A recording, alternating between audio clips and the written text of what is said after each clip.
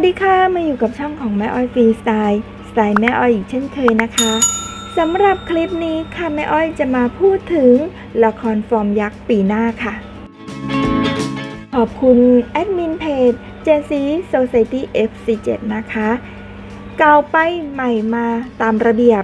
เร็วๆนี้นิวเจนเตรียมดันยกเซตให้ได้เกิดกันทุกคน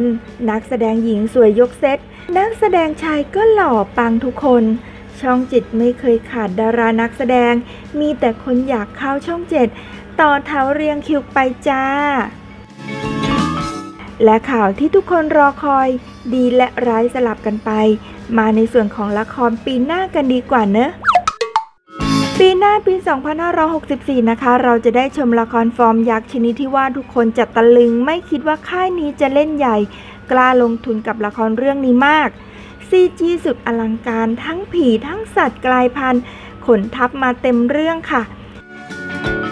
ค่ายที่ว่านี้คงเดาไม่ยากนะจ๊ะ โอเคค่ะ คราวนี้เรามาชมในส่วนของการวิเคราะห์ในแนวแม่อ้อยบ้างแล้วกันนะคะ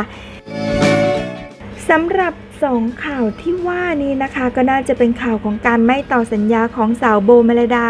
และก็เรื่องการกลับมาจิ้งกันอีกครั้งระหว่างคู่มุกไม้ในละครเรื่องคู่แค้นแสนรักนะคะ ที่แม่อ้อยก็ได้รายงานไปก่อนหน้านี้นะคะ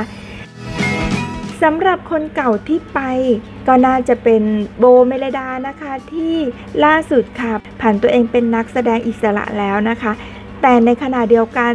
ก็มีนักแสดงน้องใหม่ เรียกได้ว่าเป็นนิวเจนเลยก็ว่าได้นะคะ ได้เข้ามา และคาดว่าหลังวิกฤตโควิดไปแล้วนะคะ ก็คงจะได้เห็นอะไรที่ใหม่ ๆ ก็ได้นะคะ แต่โดยส่วนตัวของแม่อ้อยนะคะแม่อ้อยคิดว่าอย่างที่แอดมินเพจบอกตอนต้นมาค่ะคือ เตรียมดันยกเซตให้ได้เกิดกันทุกคน ก็เพื่อที่ให้เด็กใหม่นะคะ เป็นที่รู้จักกันมากขึ้นนะคะ จะเห็นได้ว่าทั้งสวยทั้งหล่อกันทั้งนั้นเลยนะคะ แต่สำหรับแฟนๆของดาราคนเก่าๆของทางช่องนะคะ ยังไงทางช่องก็ได้ดันอยู่แล้วนะคะ เพราะว่าดาราเก่าๆที่อยู่ในช่องนะคะ ก็เป็นที่รู้จักของคนทั่วไปอยู่แล้วนะคะ ซึ่งมันก็ขึ้นอยู่กับเรตติ้งแล้วก็ความสามารถของแต่ละคนด้วยนะคะ และในส่วนนี้นะคะอย่างที่คนที่เคยเป็นนางเอกละครเย็นทางช่องก็ได้ดันขึ้นมาเป็น คู่พระนางละครหลังข่าวกันก็หลายคนแล้วนะคะ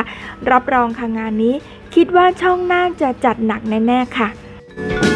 แต่ก็อย่าดันแต่เด็กใหม่นะคะ จนเด็กเก่าน้อยใจได้นะคะ โอเคค่ะ ส่วนในปีหน้าปี 64 นะคะ เราก็จะได้ชมละครฟอร์มยักษ์ชนิดที่ว่าทุกคนจะตะลึงค่ะ ไม่คิดว่าค่ายนี้จะเล่นใหญ่ กล้าลงทุนกับละครเรื่องนี้มาก CG อลังการทั้งผีทั้งสัตว์กลายพันธุ์ขนทับมาเต็มเรื่อง ค่ายที่ว่านี้คงเดาไม่ยากนะจ๊ะ อะ คุณคิดว่าไงคะ อย่างละครฟอร์มยักษ์ที่ว่านี้โดยส่วนตัวเนี่ยแม่อ้อยคิดว่าน่าจะเป็นเรื่องเพชรพระอุมาหรือเปล่า อันนี้ไม่แน่ใจนะคะ เพราะก็นับว่าเป็นโปรเจกต์ใหญ่ของทั้งช่องเหมือนกันค่ะ แล้วก็เรื่องเพชรพระอุมาเนี่ยก็เป็นบทของพนมเทียนและพนมเทียนก็เพิ่งจะเสียไปไม่นานนะคะ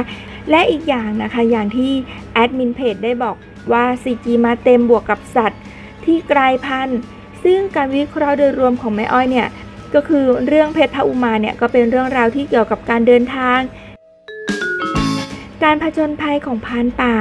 ไปในดินแดนที่ลึกลับ ก็จะมีเรื่องราวประหลาดๆต่างๆ เกิดขึ้น มากมายในป่าดงดิบ และก็แน่นอนค่ะถ้าพูดถึงการเดินป่า และยิ่งเป็นป่าดงดิบแล้วด้วยเนี่ย ก็จะต้องมีเรื่องของความลี้ลับ เรื่องของผีสางนางไม้ สัตว์ประหลาดก็น่าจะมีด้วยนะคะ ดังนั้นถ้ามีเรื่องพวกนี้มาเกี่ยวข้อง ก็จะต้องมี CG เข้ามาช่วยด้วยเหมือนกันนะคะ แล้วก็จากที่แคปชั่นในเบื้องต้นค่ะ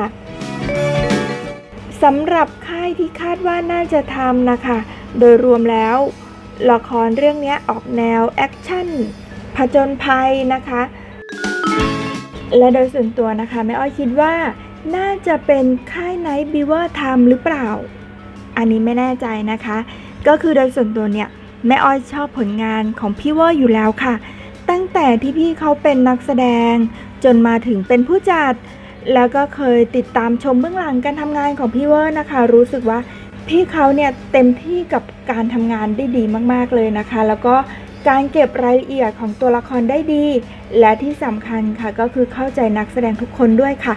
อันนี้นะคะแค่เดาๆโดยส่วนตัวของแม่อ้อยนะคะ แล้วก็เห็นผลงานที่ผ่านๆมาของพี่เวอร์นะคะที่เป็นผู้จัดก็ถือว่าโอเคอยู่นะคะ แล้วก็การใช้ CG เนี่ยก็น่าจะมีการพัฒนาไปในทางที่ดีขึ้นมาก ๆนะคะยังไงก็ลองติดตามชมกันอีกทีค่ะ โอเคค่ะ และนี่ก็เป็นการวิเคราะห์โดยส่วนตัวของแม่อ้อยเท่านั้นเองค่ะ ถ้ามีอะไรเปลี่ยนแปลง หรือว่าผิดพลาดประการใดยังไง ก็ต้องขออภัยไว้ณที่นี้ด้วยนะคะ และถ้ามีอะไรที่เพิ่มเติมเปลี่ยนแปลงยังไง แม่อ้อยจะมาแจ้งข่าวเพิ่มเติมให้ทราบอีกทีแล้วกันนะคะ ชมแล้วยังไงก็อย่าลืมกดไลค์ กดแชร์ กดติดตาม และกดกระดิ่งเป็นกำลังใจให้ด้วยนะคะ คุณจะได้ไม่พลาดในการชมคลิปแรกก่อนใครค่ะ ขอบคุณสำหรับการรับชมค่ะ แล้วพบกันใหม่ในคลิปหน้านะคะ สวัสดีค่ะ